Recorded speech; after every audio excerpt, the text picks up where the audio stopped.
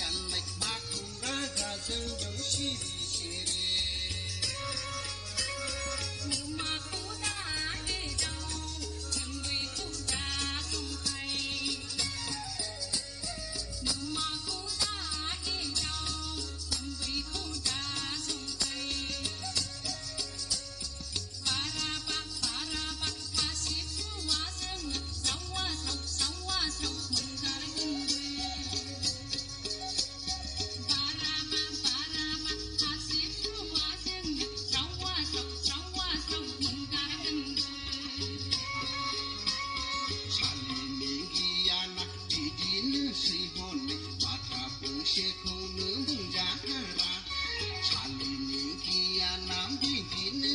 people